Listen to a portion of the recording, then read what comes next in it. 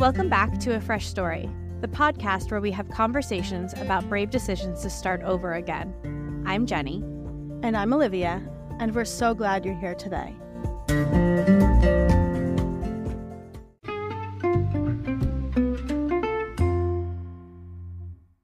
Okay, we are here with Shani Silver. She is an author and podcaster, originally from Fort Worth, Texas.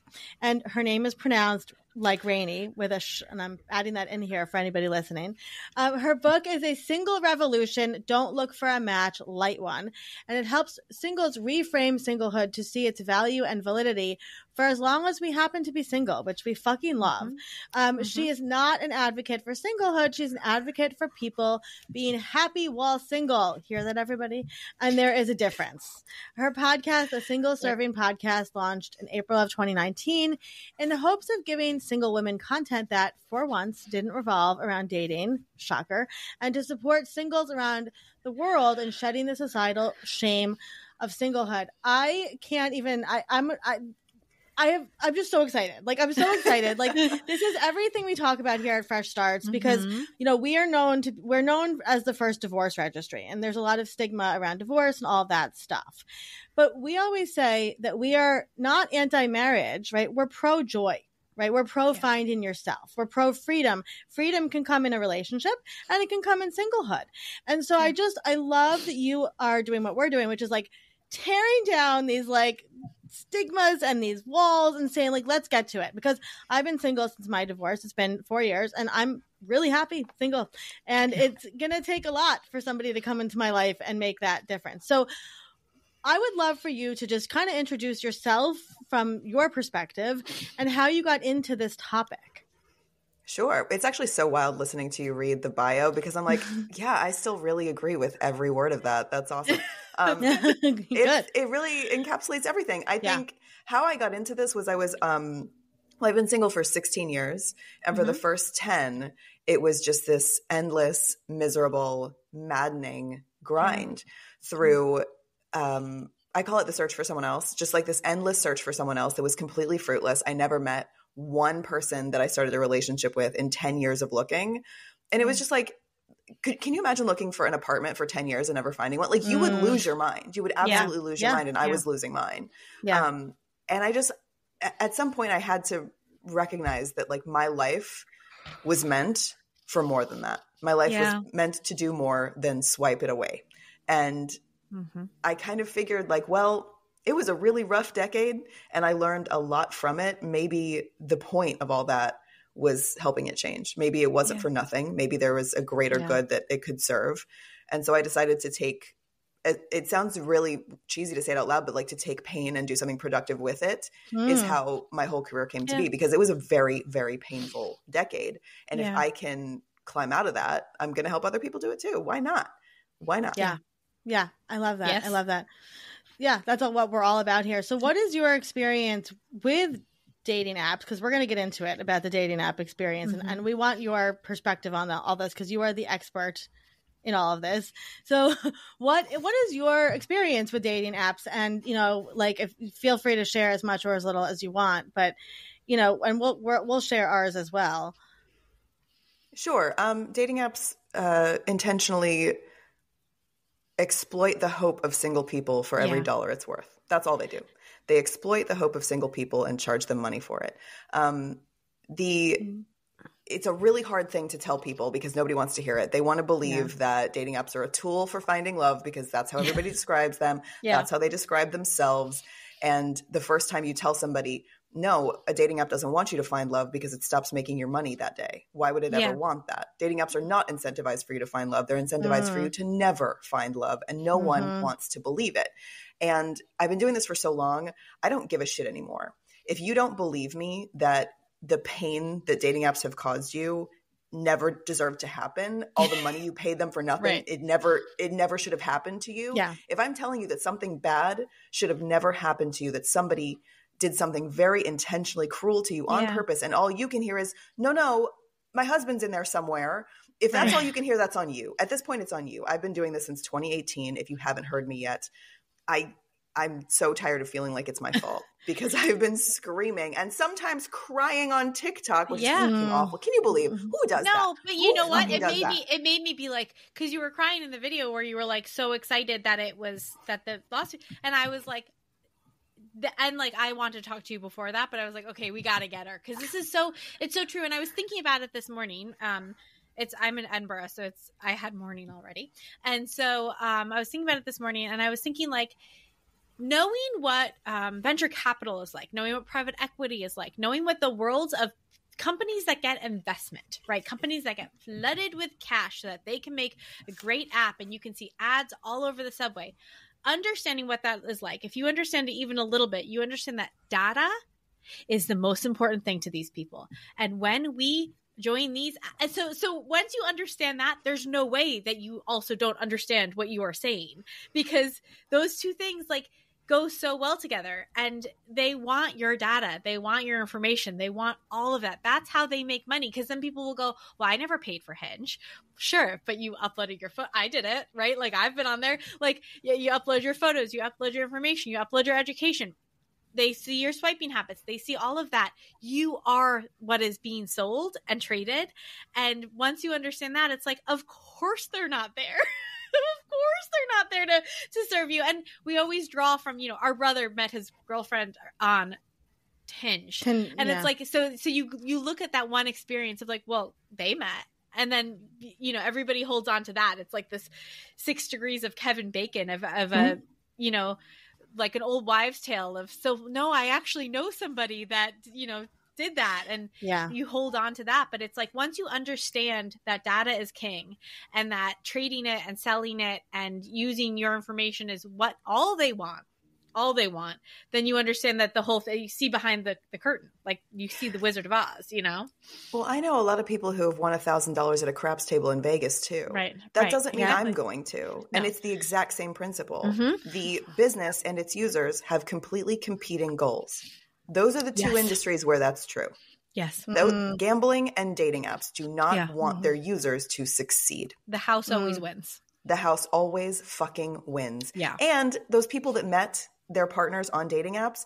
And i everyone takes such offense to this. I never mean it to be insulting. I love love but that's an accident babe. The dating app did not intend for that to happen. No, that was a huge error. Like well, it's an error. Yeah. if if you uh-huh, find love on uh-huh. a dating app the dating app reads that as an error as a flaw. Yeah. it didn't yeah. want that. Ooh, like yeah. Yeah. That's so fascinating. So i'm actually an example of that.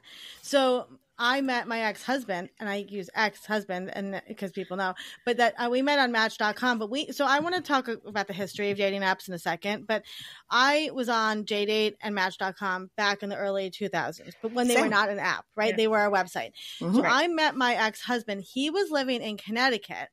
I'm on Long Island, and Match.com matched us over the water because it doesn't so understand it, was, it didn't understand sound the, the that there was water there. So I yeah. I am a homebody, so I only wanted to meet people that were close to me within yeah. 10 miles or whatever. We're on the we're on the coast here on Long Island. It literally matched me 10 miles across the water.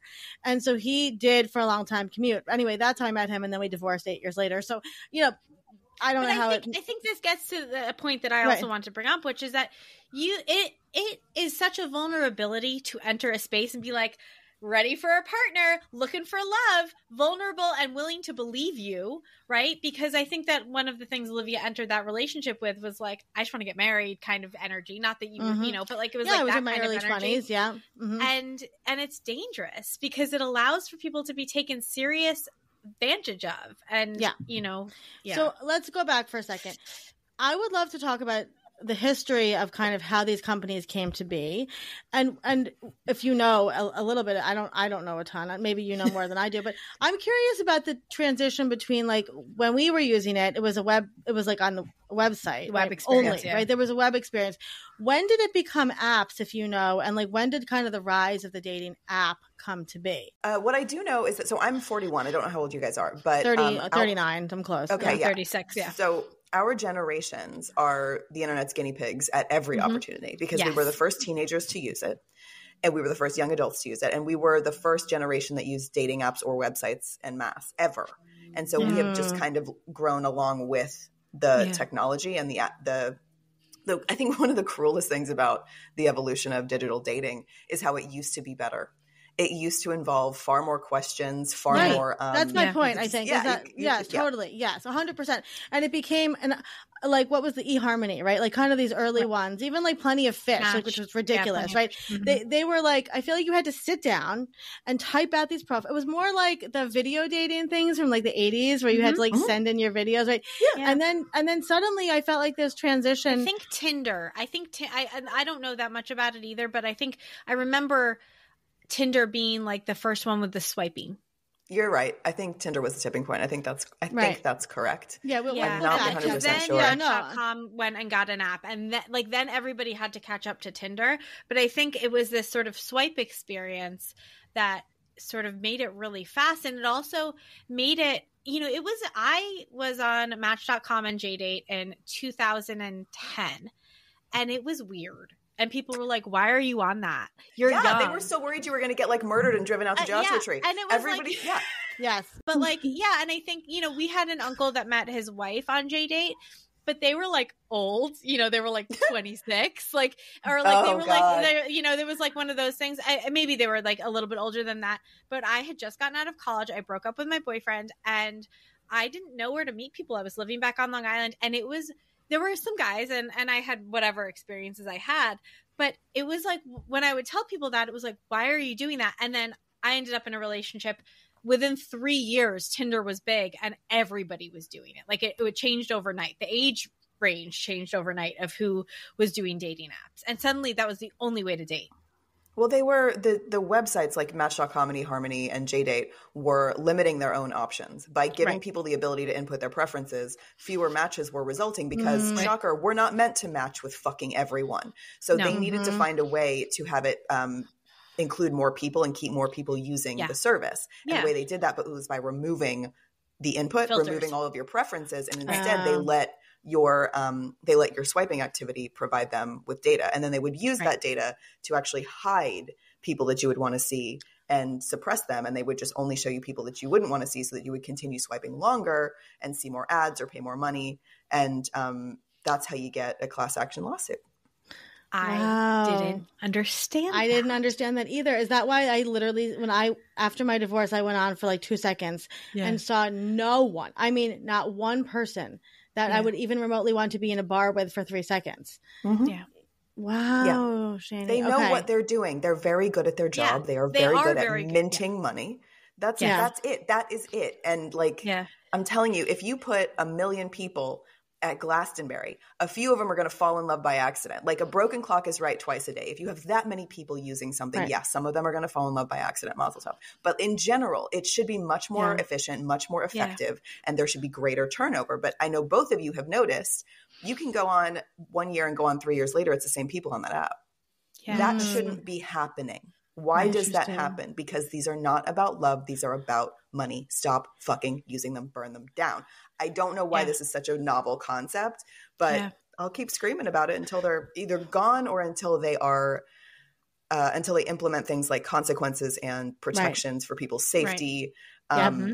And they're just not. And I, it's yeah, it's, well, it's almost can, yeah strange to talk about them because they haven't been a part of my life in so long. Like I'm, I, I well, deleted them in January of 2019, so I have been yeah. out of the game since then.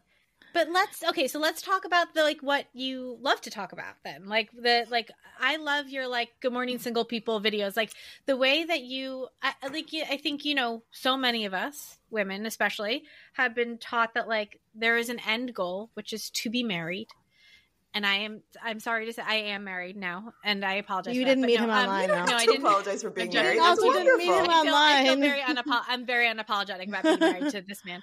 Um, no, I met him in person. We met at a museum. Like it was the most organic way to meet somebody I've yeah. ever encountered. That's incredible. And I know, yeah. and it's so and but like we actually stayed connected because of Facebook, but like secondary. But yeah, I think that we, so many of us have come to believe that that is like the ultimate goal is to be partnered, is to be with yeah. somebody, is to completely center men. And there's been so many wonderful conversations happening, I think in large part because of TikTok. I agree. Of, of like decentering men. The worst kind of women to be friends with are women that center men, right? Like things like this where it's like, you know, because we are so much more than that. And so I would love to talk with you about that about how we are so much more than just our, our relationship with a man or a woman. Well, I think we're more than our singlehood too, and mm-hmm. we haven't really been encouraged as single people to give a shit about anything other than finding someone. And yeah. to be 100% clear, I want a husband too.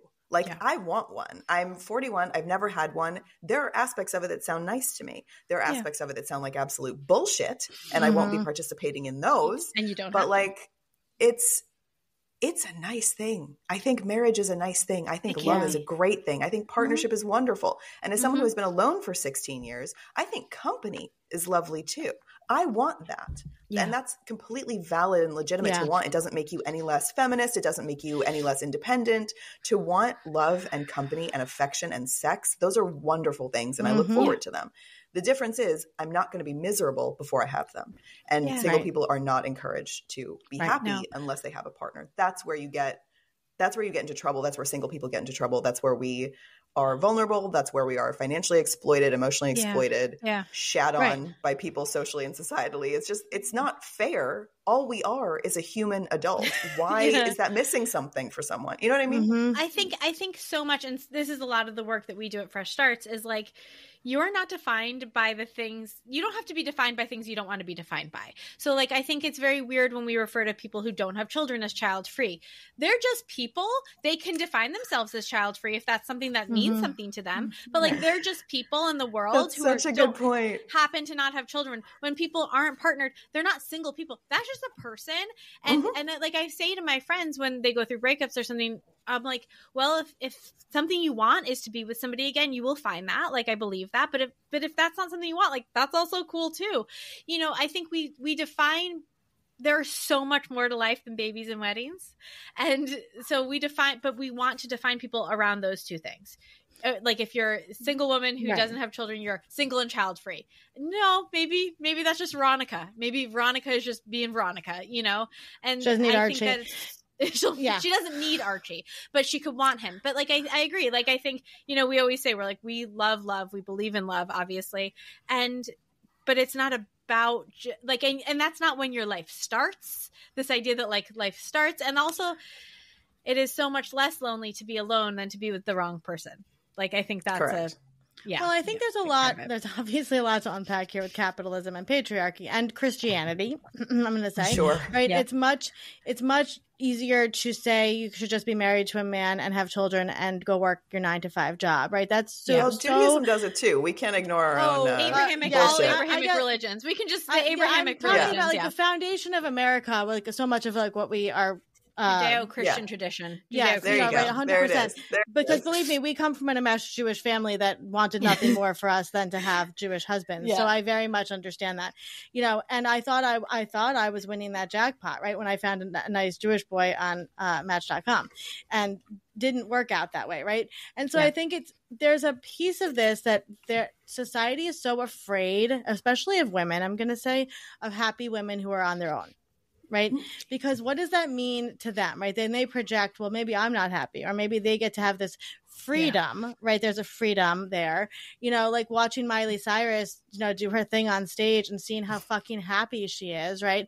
And like other women I have talked to were not so into that. And I'm like, but why? Right? She's happy and she's free and she's doing because her thing. They're and picking up a man's shit off the floor every day and that yep. sucks for them and they don't mm-hmm. know how to make that better. Yes. So they that, yep. bitch at other yeah. people who don't have yep. it as bad as they do. That's and then happening. they and then they glorify the institution that they're in because the only way that they can be happy in that institution that they're actually miserable in is to right. pretend brainwash themselves basically and be like it's actually the best thing in the whole world. Yes, I do roll my eyes at him all the time and yes, he does drive me crazy. I mean, I've been watching Love is Blind and like I was tweeting I was like, "Do you know that your husband's not actually supposed to drive you crazy?" Like my I I I my husband doesn't drive me crazy. I've never said that. Like I've never been like. By the oh, way, my husband did nuts. drive me crazy, and it almost actually ended me. So you right? know, it's I mean, not fun. It's like, like, no. it, like we have this sitcom idea of what like a marriage right. should be, and then if somebody is actually steps out of line and is happy, we want to not we want that not to be amplified because that. I'm curious. Yeah, Shani, what has been the reaction, like especially on TikTok, right? Like to when you started talking about like this singlehood and, and all this stuff, what reaction have you gotten from people? it's about 50 50. I yeah. have people that are really relieved to see my content and really yeah. empowered by my content and they're really excited and they're agreeing with me. And then I have people who, uh, how do I say this? Who, who criticize my work. We can we can describe it that way if you want. Yeah. Um, yeah but it's a lot of projection. And by the way, yeah. no one has to agree with me. Like, I don't need to go online just to be no. agreed with. I don't think any of us would be on the internet if all we had the capacity for was to be agreed with all the time. it's fine to disagree with me, and I'm not afraid of being disagreed with. I am yeah. afraid of um, being degraded and insulted publicly yeah. because other people see that too. Like, say what you want to me, but my audience is reading this and I yeah. don't want them to think that this is what is true about them because it's 100%. not. And we see that too. Yeah. We we we have that too, especially with divorce. And and mm-hmm. I one of my big TikTok platforms is divorce is not a failure. And right. I have people come up to my comments and will say the same stuff. And I'm like, I'm not saying I'm not responding to you for me. I don't give a shit what you think about me, but I don't want the mom in the middle of the night who's scrolling TikTok to think that divorce is a failure because of you, right? And so um, I really get that. So I would love if you could talk to us about this law lawsuit, right? Because mm-hmm. uh, for anybody that's that's listening and has no idea what we're talking about, what is this lawsuit that got you crying on TikTok out of tears of joy? There's a lawsuit that I don't think it's been certified as a class action yet, but it's been okay. filed. There's a lawsuit that's been filed um, against the Match Group, and essentially they're being sued because they make love elusive on purpose. That was the phrase, elusive on purpose. Mm. I want that like blown up poster size and put on the wall in my living room elusive on purpose and then um, primarily what what they're talking about is how the match group has made dating apps um, essentially addictive yeah and yeah. they're they're causing addictive behaviors and they're not um, they're not delivering on what people are paying for and it's like read read the lawsuit is what i would say like yeah. i'm not gonna yeah. Yeah. summarize it wrong for you on a podcast but like read it read the articles they're there you can check them out but what it's doing is saying, like, I was right. These are yeah. bullshit. They're stealing your money. They're hiding people you would want to see on purpose. Yeah. They are fucking with you. And they have yeah. been fucking with you for right, years and years and years. Nail them to the fucking wall. I I mean, mm. there is I'm so scared that they're gonna settle because I want this to go to trial so badly. I want to be in the room when the verdict is read so badly because it's really hard to build a career off of going against the grain, which I'm sure yes. you know. It's oh, really yeah. hard to have to convince people that you're right yeah. every single day of your life. It's exhausting, yeah. it's really painful, it's really draining. And the whole time you're like, but you'd feel better. And like I yeah. can't I, I, I feel like Cassandra just like Janie, telling everybody our group of happen. people. We have so many people here that we can I mean talk to our friend Laura Danger and and Crystal Britt and all of these people. You know, it's the same it's the same conversation. And yeah. I, I appreciate you sharing this, and I appreciate your your you know I'm going to use the word enthusiasm, but you know mm-hmm. like in in understanding like the importance of this because it all ties together, right? This is a feminist issue. This is an issue about you know you know women's rights and human rights for, and exploiting yeah. mm-hmm. right and uh, on all of this and so and also this idea like you said we have grown up right in this tech world we were oregon trail kids sims all these things right and so like it, it is addicting right mm-hmm. and so using love right which is the ultimate goal for every for everybody thinks right the ultimate goal to basically get them in i guess my now that i'm talking to you and have been out of it for a little while i'm shocked people would do this right not questioning what's their agenda yeah. right what is their agenda of course they want to make money and of course they don't want you to find love so I don't know. I just now I'm but like, nothing's going to get you more praise than a partnership. Nothing is going to make you more loved, more societally yeah. accepted. Do you know how much it breaks my heart? My family is well aware of what I do for a living, and I swear to you, nothing, nothing would bring them the joy that me bringing home a nice Jewish boy would bring them, and that breaks my fucking heart because I've written a book and I've built an entire career. I've been supporting myself alone, not splitting rent, not splitting bills ever, mm-hmm. not once. I've been doing this the whole time. And that would never make them as happy yeah. or as proud as me bringing home a nice Jewish boy. And so I kind of don't want to on purpose because fuck that. Like, that's yeah. not fair. I should be able no. to receive societal acceptance and family acceptance and love. And yeah. they, by the way, they love me. Let's not. Yeah, no, totally. But like, we understand. Yeah, it's it's tough but nothing's going to get you yeah. as much praise or acceptance as a partnership, as a romantic partnership. Mm-hmm. First of all, as a heterosexual romantic partnership, that's right. like going to give you the most praise in the whole wide world, which is fucking nauseating, even just talking about it. But Yeah. Like yeah. it shouldn't be the thing that makes people mm-hmm. the happiest. It shouldn't be the thing that people will fly across the country or across the world to celebrate without questioning. Without yeah. just, it's right. just it's so accepted. It is so pervasive. We never mm-hmm. question it. There's nothing you can't fuck with love.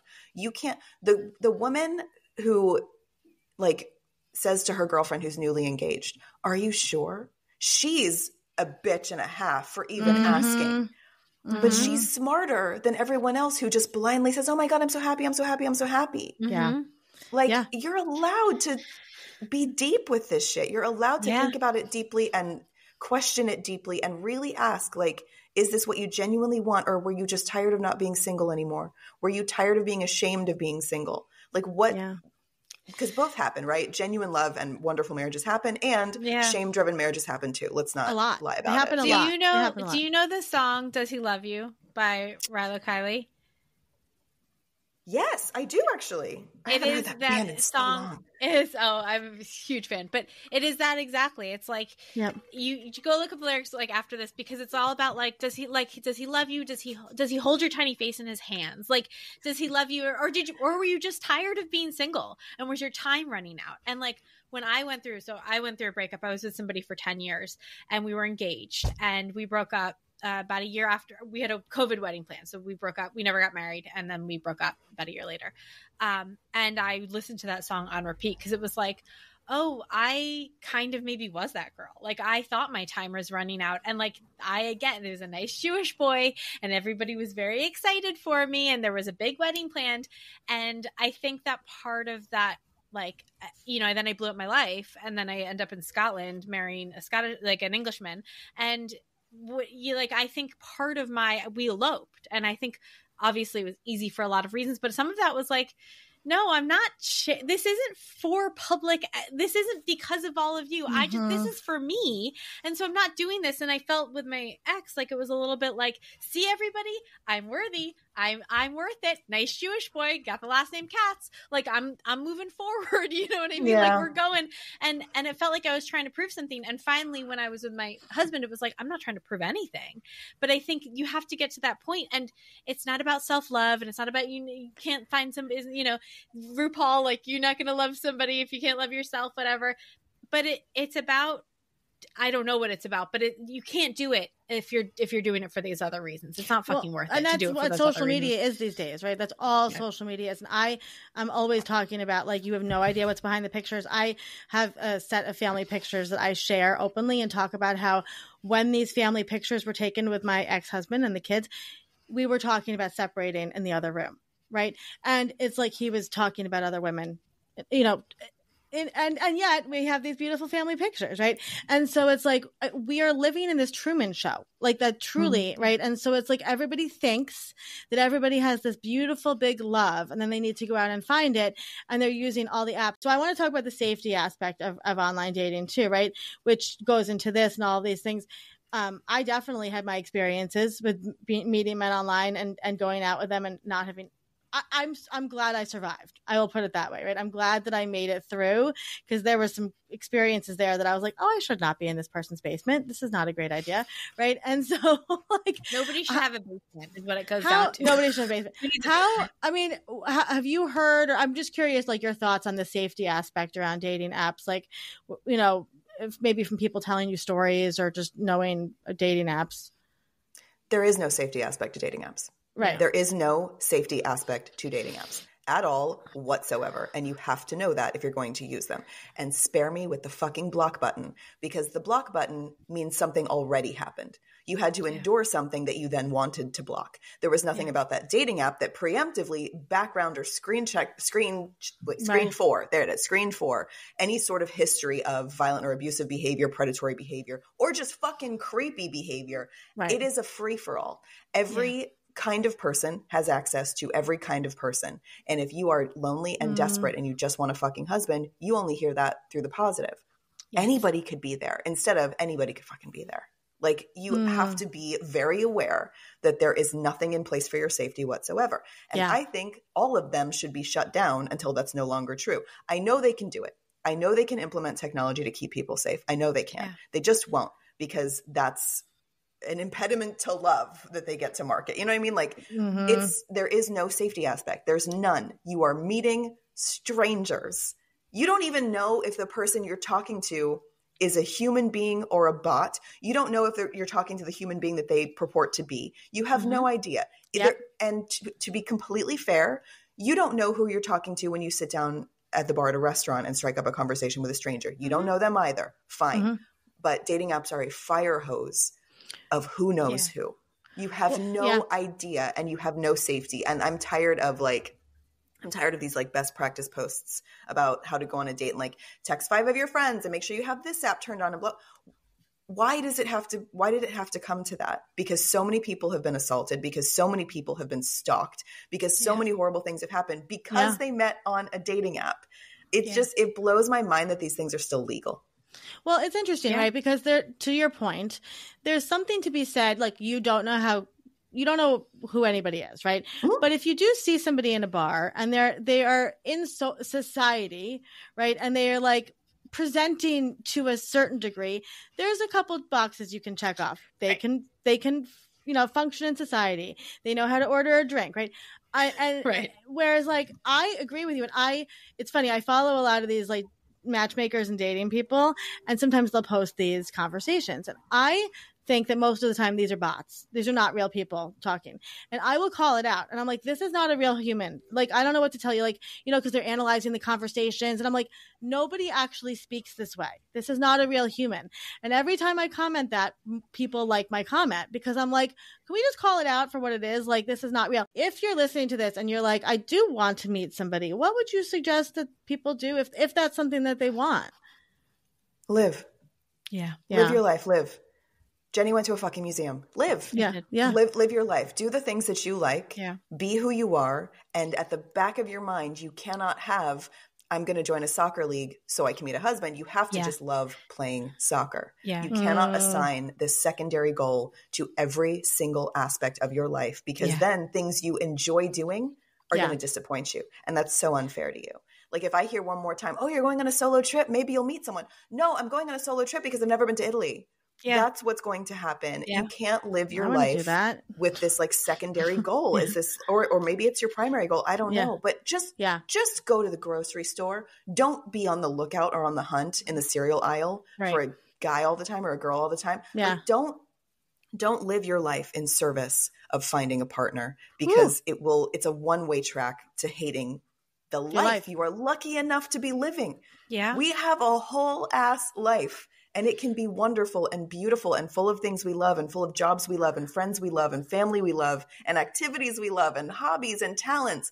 All of these wonderful things get clouded when you're living your life underneath the weight of, but I don't have a partner. And that is yeah. a crime that you're committing against yourself. So fucking you, stop. Yeah. Just you heard it life. here. You heard it here, folks. That I is it. It's true. That's it. I love it. It's the That's thief of joy. Job. It's yeah. It's the thief of joy, and it's the thief of joy in pursuit of some rules that were made up by people that we don't fucking agree with, and that we mm-hmm. don't know, and that we're never gonna know because it was Abraham. You know what I mean? Like we're never gonna know that guy, and now we have to live by his rules and steal our own joy day to day. And then, God forbid, we meet somebody while we're living an inauthentic life because we're on the prowl right. constantly. Like, right. good luck making that work long term because it's that's really hard when you're like dressing up all the time to go to the grocery store and then you meet that guy like that's not you babes. Like that's somebody else. You're playing a part.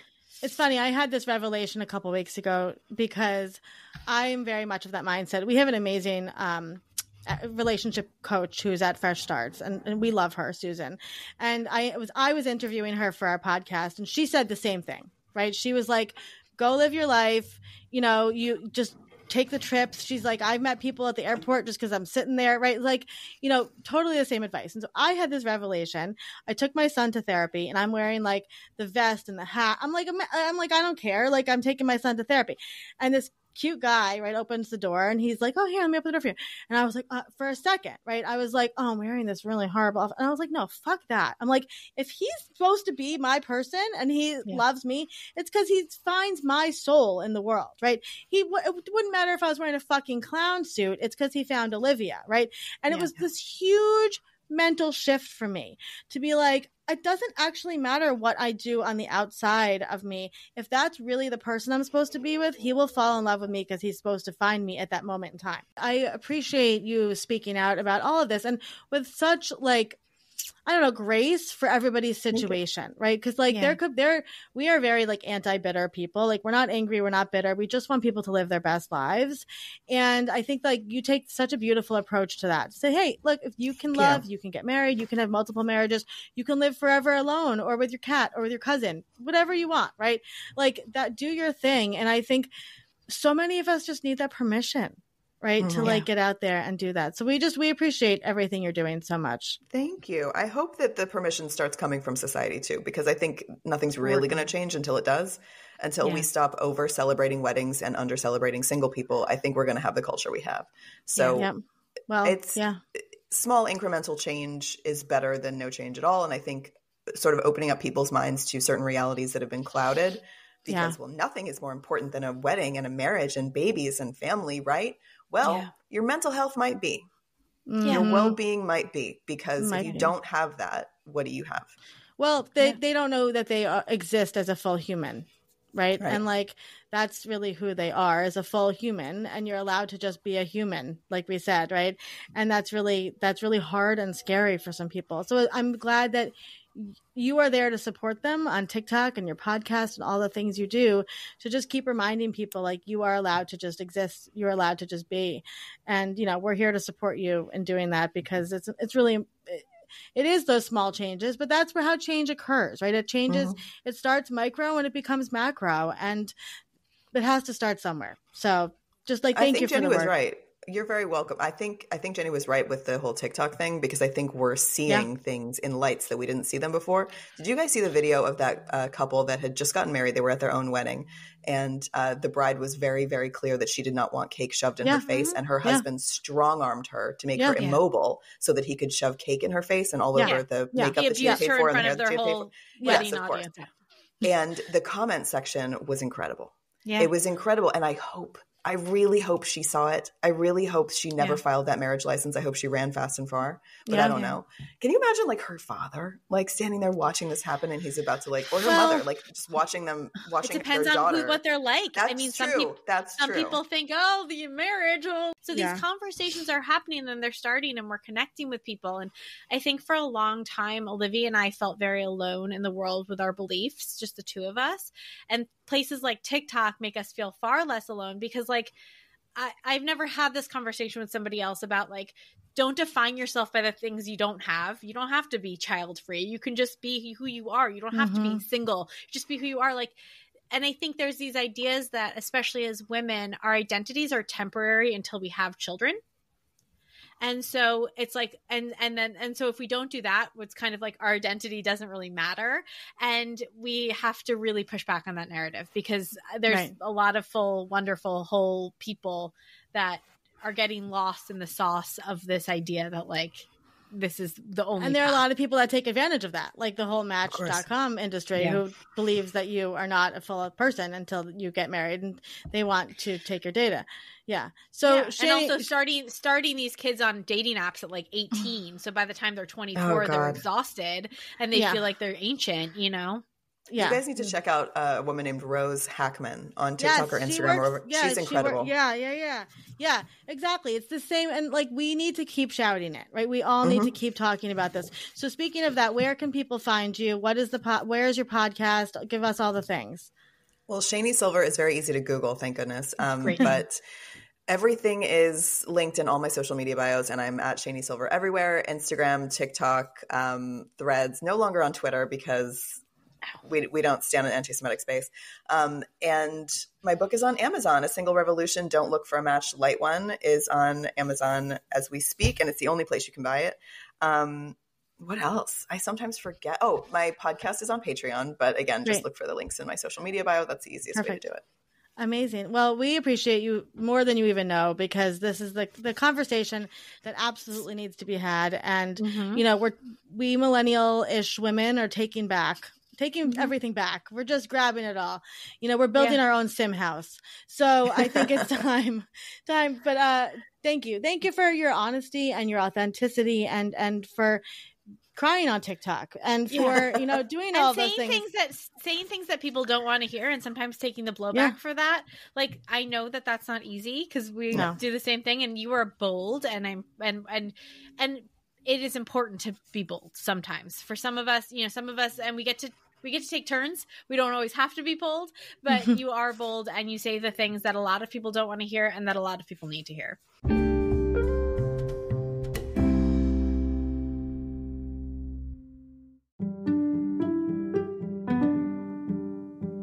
Thank you for listening to today's story. We're always here, and we're so proud of you. A Fresh Story is produced by Fresh Starts Registry, the first and only platform for everything you need to begin again. You can read the show notes and learn more about today's episode at afreshstory.com.